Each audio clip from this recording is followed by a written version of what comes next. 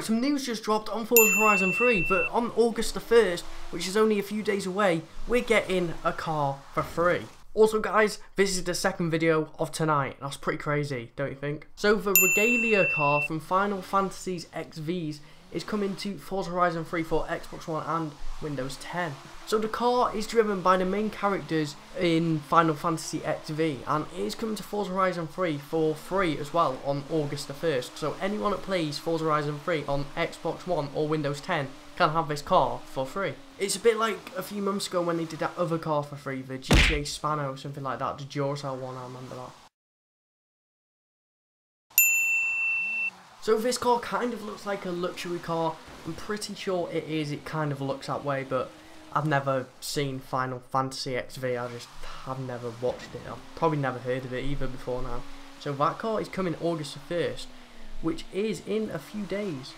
So August 1st is next Tuesday, and for every first Tuesday in a month, they always bring out a DLC pack.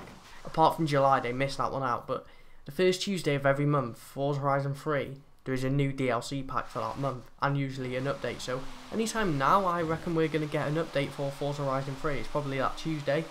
So that's kind of interesting, but I wonder if they will actually bring out an actual DLC pack with like six or seven cars in.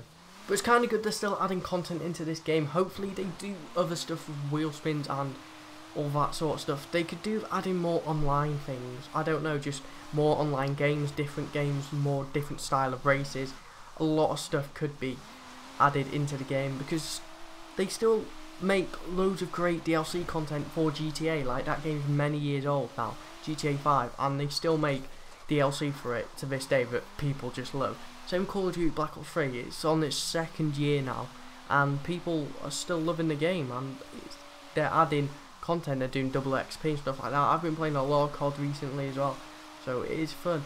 I know that's mainly because Infinite Warfare is just trash. Why am I'm not American? Why am I talking like an American? But to wrap up this video, guys, there is going to be a free car in Forza Horizon 3 for everyone to get. All you'll need to do is log on to the game, I think, and then go to Message Center. It'll be in gifts or something. It'll say you've been gifted a car. I'm, I think it's going to be like that. So it is the Regalia from Final Fantasy XV, and it does look like a pretty alright car. It's not the nicest of things, but at the same time, it's not the most horriblest of cars it will be fun to upgrade. We're going to do some stuff with that car, upgrade it, take it online, that sort of stuff. But anyway, guys, thank you for watching. Leave like if you enjoyed. Subscribe if you're new around here. Like I said, it's the second video of tonight. So yeah, watch both my videos, please. I need the views and subscribers and likes.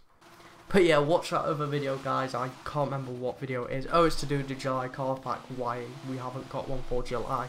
I just basically go over some reasons in that video. But yeah, like I said, subscribe, leave a like. I'll catch you guys later. Peace out.